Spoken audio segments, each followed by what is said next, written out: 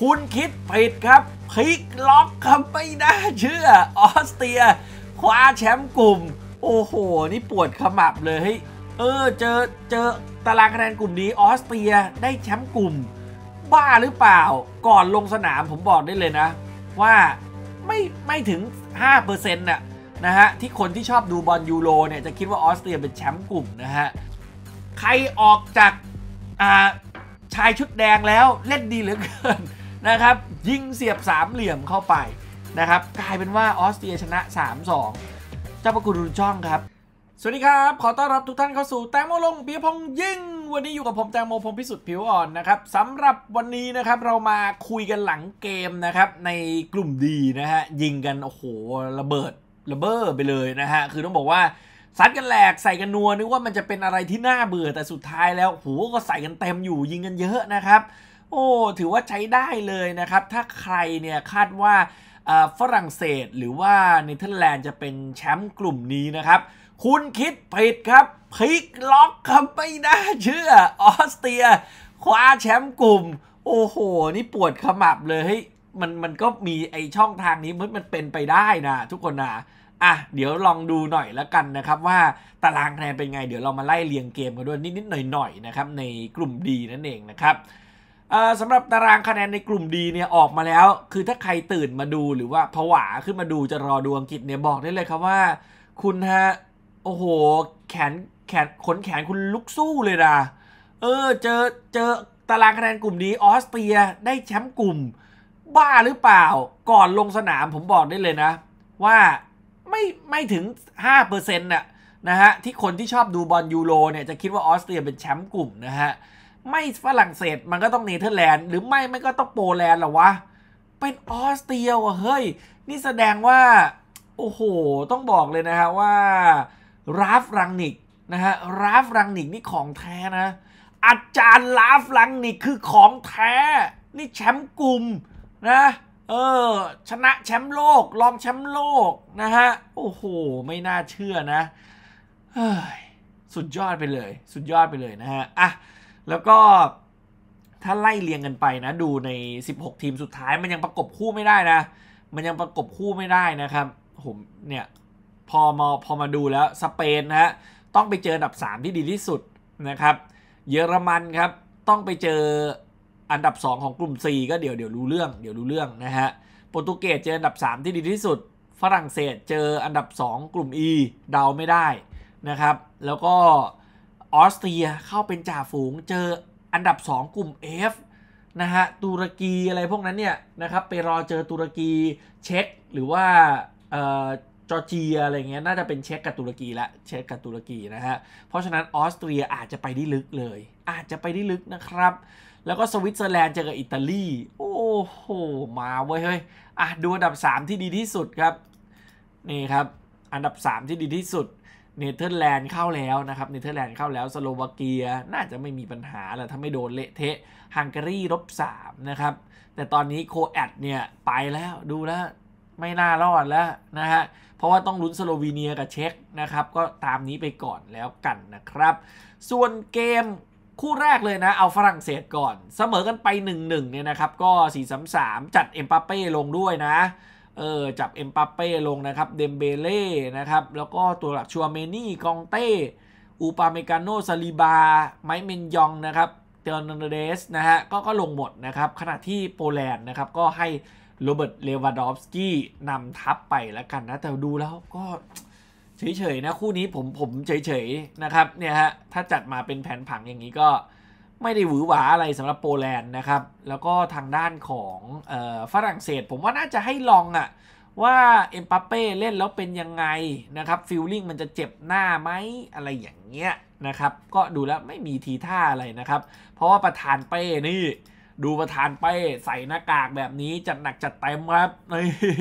โอ้โหแต่ไม่ค่อยสวยเท่ากับไอตัวที่ตอนซ้อมนะ แต่ว่า กฎของฟีฟ่ามันไม่ได้ไง มันก็ต้องตามนี้นะฮะ พอตามนี้ก็ไม่เป็นไร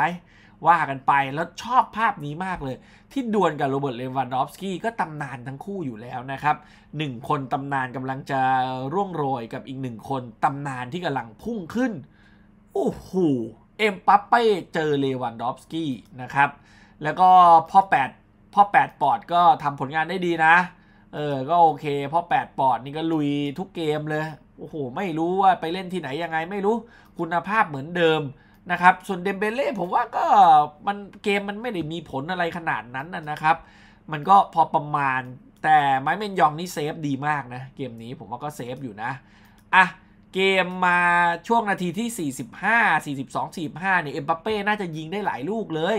นะครับ หลุดมามุมแคบเนี่ย แต่ว่าเป็นคนที่เซฟเอาไว้ได้ผู้รักษาประตูนะครับของออสเอ่อพูดผิด นะฮะเป็นทางด้านของผู้รักษาประตูของโปแลนด์นะครับเออก็ดู 2 คู่ไปพร้อมกันนะทุกคนนะฮะโซสโครอฟสกี้นะฮะอะก็ติดเซฟไว้ก็ทำได้ไม่ดีเท่าไหร่นะครับสำหรับเอ็มปาเป้ต้องดีกว่านี้นะฮะมุมมันแคบแล้วด้วย อาจจะลูกนี้ก็ขอลองซะหน่อยนะครับ แต่ว่ามาได้จุดโทษนะฝรั่งเศสนาทีที่ 55 นะครับ เดมเบเล่ลากเข้าไปแล้วโดนเตะตัดนะครับ ก็ผู้ตัดสินก็ไม่รอช้าครับ เป็นจุดโทษแน่นอนนะครับ แล้วก็เป็นทางด้านของท่านประธานนะครับ เอ็มปัปเป้นะครับ ยิงเข้าไปขวามือประตูนี่ต้องบอกว่าโมซิเซฟอยู่แล้วนะครับ แต่ว่าจังหวะนี้นี่แกกำลังนับญาติอยู่นะฮะกำลังนับญาติอยู่แต่เอ็มปัปเป้บอกว่านับไปเลย เดี๋ยวยิงเองนะฮะแล้วก็เนี่ยฮะจังหวะยิงเข้าไปก็ทำประตูได้ครับทำประตูได้แต่เกมเหมือนว่าฝรั่งเศสน่าจะจบด้วยแชมป์กลุ่มใช่ไหมอุปาเปกาโน่จัดให้ครับ เอาความยากลำบากไปเพิ่มเติมให้กับเพื่อนนะฮะ เตะครับลูกนี้มันจังหวะแบบโชคร้ายนะครับ จังหวะโชคร้ายไปสอดเท้าใส่ผู้เล่นของเอ่อโปแลนด์นะฮะหมายเลขเจ็ดนะครับก็เป็นจุดโทษผู้ตัดสินเขาก็เช็คเลยไปเช็คแล้วเช็คอีกก็บอกว่า เฮ้ย ไม่ได้นะ เป็นคาโรลสวิเดอร์สกี้นะครับ เออ ก็โดนเตะเข้าไปเป็นจุดโทษ แล้วตอนแรกเนี่ยเลวานดอฟสกี้ยิงไม่เข้าด้วยนะ แต่ว่าไมเมนยองออกมาเยอะไง ไม่ได้อยู่บนเส้นนะ ออกมารอ นี่คือถ้าถ้ารอรถเนี่ย เรียกได้ว่ารอที่สถานีปลายทางเลยนะฮะ โอ้โห ออกมาเยอะมากนะครับ แต่ว่าก็เซฟไง แต่ต้องยิงใหม่ พอไอทียิงใหม่เรียบร้อย เลวานอฟสกี้แกก็ไม่ปล่อยให้รอดเลยแกก็ยิงแบบโอ้โห สะใจเลยนะครับ เสมอเป็นหนึ่งหนึ่งอย่างน้อยมีแต้มนะไม่น่าเกลียดไม่น่าเกลียดนะครับ แต่ก็ไม่ได้ตามเป้าเนาะ อะ จบคู่นี้นะครับ ก็ไปลุ้นอีกคู่หนึ่ง เนเธอร์แลนด์ครับเนเธอร์แลนด์เนี่ยก็ลงสนามมานี่ครับตัวจริงของทั้งสองทีมนะครับเนเธอร์แลนด์เดปายกักโปมาเล่นก็ใส่ตัวจริงอยู่นะฟานไดจ์คอะไรอย่างเงี้ยนะแต่มีเปลี่ยนเยอะอยู่แหละนะครับแล้วก็ออสเตรียมุ่งหวังเข้ารอบอยู่แล้วครับกริลลิตช์นะครับวิมเมอร์ซาบิเซอร์อาร์เนาโตวิชนะครับชมิดนะครับคือตัวหลักๆลงหมดพักไม่ได้นะครับ พักก็งานเข้านะครับนี่ฮะก็รายนามผู้เล่น แต่ไอ้คู่นี้เนี่ย ต้องบอกว่าโอ้โห ไม่รู้ไปโกรธใครกันมานะครับ ยิงแหลก ใส่แหลกนะครับ โอ้โห ชนิดที่ว่าไม่เกรงใจฟันได้เลย ใส่กันเต็มที่นะครับล่อกันเต็มแข้งนะครับอะอย่างนาทีที่ 6 เนี่ยนะครับ สกัดเข้าประตูตัวเองมาเล่นมาเออโคตรสวยเลยบอกเลย สกัดเข้าประตูตัวเอง ปีนี้เป็นอะไรไม่รู้ยูโรเตะเข้าประตูตัวเอง เยอะเหลือเกินนะครับ และนี่เป็นอีกหนึ่งจังหวะครับที่ลงไปนอนกองเลยครับ ทางด้านของเอ่อดอนเยลมาเลนแหมอุตส่าห์จะมาช่วยซะหน่อยกลับกลายเป็นทำพินาศนะครับ โอ้หนึ่งศูนย์ครับหนึ่งศูนย์ครับออสเตรียนำราล์ฟรังนิกทำดีนะเล่นดีด้วยต่อบอลดีด้วย แต่ทางด้านนาทีที่ 24 ครับโปแลนด์ขึ้นมาเอ่อทางด้านของเนเธอร์แลนด์นะครับขึ้นมาตรงนี้แทงทะลุช่องนะครับ แล้วทางด้านของมาเล่นน่าจะทำได้ดีด้วยนะ จังหวะเนี้ยน่าจะทำได้ดีหลุดมาแต่ยิงหลุดกรอบไปน่าเสียดายสุดๆไปเลยนะครับ นิดเดียวไม่ได้นะครับ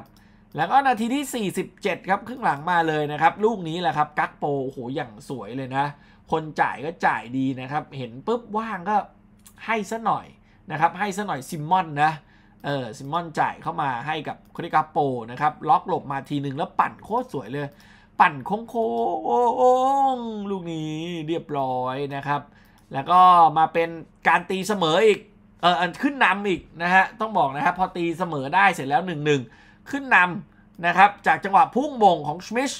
ลูกนี้ครับพุ่งมงเสียบตะข่ายเข้าไปยอดเยี่ยม 2-1 ผมว่ามันก็น่าจะจบแล้วมั้ยหรือเต็มที่ก็เสมอ โอ้โห กักโปแม่งมาเออพูดดิเดปายมายิงวอลเล่ลูกนี้อย่างสวยเลยจากการชุลมุนนะครับ แนวรับไม่ค่อยดีเท่าไหร่นะครับ ตรงนี้ โอ้โห แล้วยิงแบบเสียบสามเหลี่ยมนะครับ ตอนแรกเหมือนจะไม่ได้จะมาเช็คนะครับ แต่สุดท้ายได้ครับ โอ้โหวอลเล่เต็มๆแบบนี้สุดๆไปเลยนะครับ2-2ครับ เหมือนจะจบ มันก็ไม่จบ นาทีที่ 80 ครับ แทงทะลุช่องมาให้กับซาบิเซอร์นะครับซาบิเซอร์จัดการยิงเสียบสามเหลี่ยมเข้าไปเลย สุดยอด ใครออกจากาชายชุดแดงแล้วเล่นดีเหลือเกินนะครับ ยิงเสียบสามเหลี่ยมเข้าไปนะครับ กลายเป็นว่าออสเตรียชนะ 3-2 เจ้าประคุณดูช่องครับ ทุกคนฮะนี่ครับ ตารางคะแนนอย่างที่เห็นเลยฮะออสเตรียจ่าฝูง อันดับ 2 ฝรั่งเศส อันดับ4เนี่ยเอออันดับ3เนเธอร์แลนด์และโปแลนด์ตกรอบนั่นเองนะครับ โอ้โห สุด ๆ ไปเลยนะครับ อะ นี่ก็สรุปให้ฟังนะครับสำหรับกลุ่ม D เดี๋ยวค่อยมา wrap up กันอีกทีหนึ่งนะครับในการที่หลังจากอังกฤษเตะไปแล้วนะครับ นี่คือทั้งหมดทั้งมวลถ้าหากว่าชื่นชอบอย่าลืมนะครับ ติดตามกันได้โดยการกดไลค์กดแชร์กด Subscribe กดกระดิ่งแจ้งเตือนจะได้ไม่พลาดทุกคลิปความเคลื่อนไหวสำหรับวันนี้ลาไปก่อนสวัสดีครับ